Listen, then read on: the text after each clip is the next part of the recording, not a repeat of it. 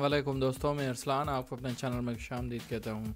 और आज की इस वीडियो में जो मैं जवाब अलर्ट आपको दूँगा, ये है कि P P S C Khyber Pakhtunkhwa public service commission में जो है कुछ वैकेंसीज़ आई हैं लेटेस्ट वैकेंसीज़ आई हैं तो उसके लिए कैसे अप्लाई करना है। इस वीडियो में जो है मैं आपको डिपार्टमेंट बताऊँगा, किस डिपार्टमेंट में कितनी वैकेंट पोजिशंस अवेलेबल हैं और उसको कैसे अप्लाई करना है।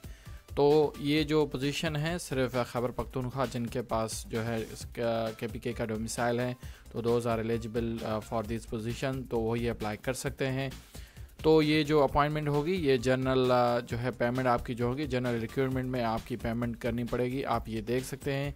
यहाँ पे स्क्रीन पे पेमेंट करने का मेथड ये, उससे पहले एक वीडियो मैंने ऑलरेडी बना के यहाँ पे रख दी है। वो भी लिंक डिस्क्रिप्शन बॉक्स में मौजूद है वो वो भी आप चेक कर सकते हैं, मगर इसकी पेमेंट जो है जनरल रिक्रूटमेंट में अदा की जाएगी, जिसके चार्जेस हैं 500 तो चलिए बढ़ते हैं एडवर्टाइजमेंट देख लेते हैं ऑफिशियल एडवर्टाइजमेंट कौन कौन सी रिक्वायरमेंट है। जैसे कि आप अपनी स्क्रीन पे देख सकते हैं एडवर्टाइजमेंट नंबर थ्री दो हज़ार इक्कीस। Online application are being invited for the position above जो बिलो पोजिशन होंगी who have domicile of Khyber का बाय 12 अप्रैल 2021 तक वो अप्लाई कर सकते हैं। जैसे कि मैंने मेंशन कर दिया, इसके 500 चार्जेस हैं तो फ़र्स्ट आपको जो है पेमेंट करनी है गेट ट्रांजेक्शन आईडी फिर ही आप ऑनलाइन अप्लाई कर सकते हैं। तो चलिए बढ़ते हैं, आपको दिखा देता हूँ कौन कौन से जॉब टाइटल अवेलेबल हैं और कौन सी पोजीशन अवेलेबल हैं। जैसे कि आप अपनी स्क्रीन पे देख सकते हैं, ये एम एस वर्ड में मैंने हर चीज़ यहाँ पे लिख दी है। तो मेंशन कर चुका हूँ 12 अप्रैल 2021 इसकी लास्ट डेट है। और फ़र्स्ट डिपार्टमेंट जो है, ये elementary and secondary education department में टोटल वैकेंट पोजीशन आठ हैं। उसके बाद हेल्थ डिपार्टमेंट जिसमें ज़्यादा से ज़्यादा वैकेंट पोजीशन अवेलेबल हैं 157 वैकेंट पोजीशन अवेलेबल हैं फॉर ग्रेड 17 और 16 और 18 के लिए। तो उस, उसकी मज़ीद मालूम के लिए आप जो है, इनकी वेबसाइट भी विज़िट कर सकते हैं। तो अगर ये मैं मज़ीद मालूम स्टार्ट कर लूँगा तो वीडियो बहुत ही लंबी हो जाएगी। तो जो हाईलाइट्स हैं मेन पॉइंट्स हैं, उससे मेरी कोशिश होगी कि मैं आपको आगाह करूँ। थर्ड डिपार्टमेंट जो है ये higher education archives and libraries department में 64 फोर वैकेंट पोजिशन अवेलेबल हैं। अगर आप इसके मतलब अप्लाई करना चाहते हैं और डिटेल्स देखना चाहते हैं तो आप उनकी वेबसाइट फिर भी विज़िट कर सकते हैं। Industries and commerce and technical जो है एजुकेशन डिपार्टमेंट में दो वैकेंट पोजीशंस अवेलेबल हैं। एजुकेशन डिपार्टमेंट में पाँच अवेलेबल हैं। उसके बाद जो है law and parliamentary affairs and human development department एक पोजीशन अवेलेबल है। Mines and mineral department Khyber Pakhtunkhwa sixteen position available हैं। पॉपुलेशन वेलफेयर डिपार्टमेंट में दो वैकेंट पोजीशन अवेलेबल हैं। प्रोविजनल इंस्पेक्शन टीम एक पोजीशन अवेलेबल है।